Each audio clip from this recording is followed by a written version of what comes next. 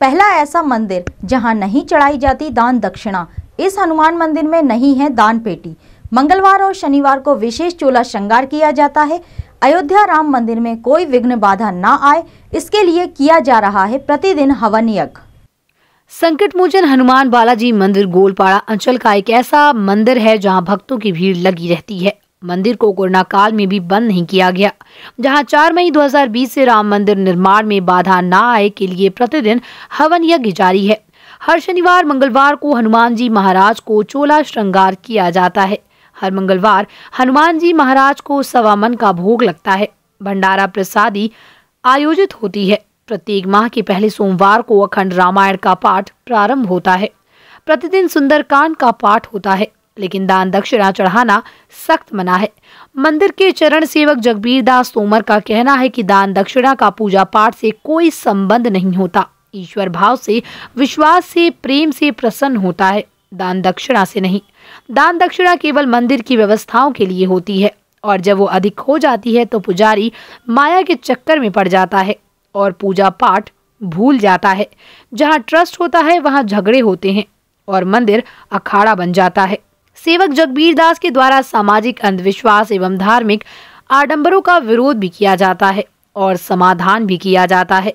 हम लोग वेश देखकर किसी को महाराज कहने लगते हैं और उसे पूजने लगते हैं।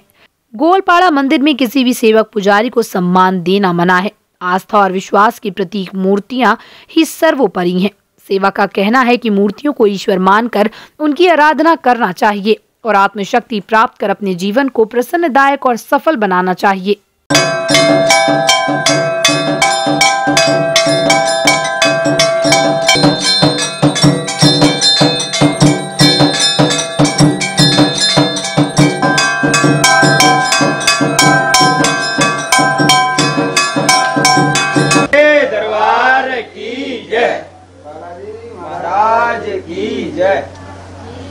बलवान की जय। गुर पेतराज बलवान की जय। गुर कोतवाल कप्तान की जय। गुर महेंद्र जी महाराज की जय। गुर महेंद्र जी महाराज की जय। गुर बालाजी महाराज की स्वाहा। स्वाहा।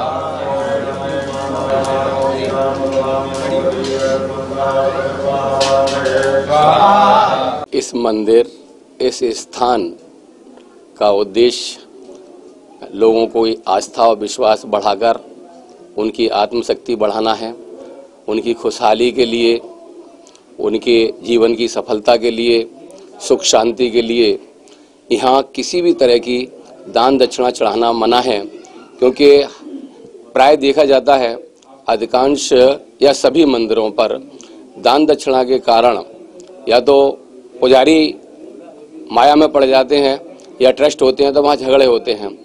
यहाँ हर मंगलवार को सवा मन का भोग लगता है। हर शनिवार और मंगलवार को यहाँ सुंदर प्यारा सा हनुमान जी महाराज को चोला श्रृंगार किया जाता है। हर माह के पहले सोमवार और मंगलवार को यहाँ घड़ रामायण का पाठ और भंडारा आयोजित होता है। इसके लिए इस तरह यह मंदिर लोगों में आस्था और विश्वास का केंद्र बना हुआ है।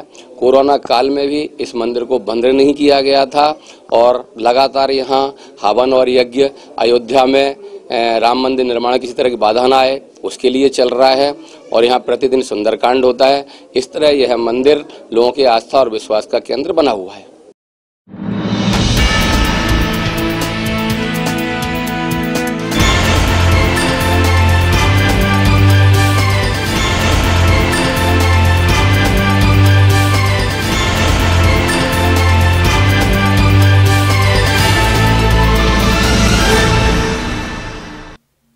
और भी रोचक खबरें देखने के लिए YouTube पर एम टुडे नेटवर्क को सब्सक्राइब करें।